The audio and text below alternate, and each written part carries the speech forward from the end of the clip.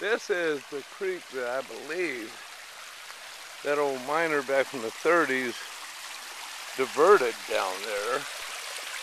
There is an obvious place where he diverted it and mined where it was flowing and it crosses here.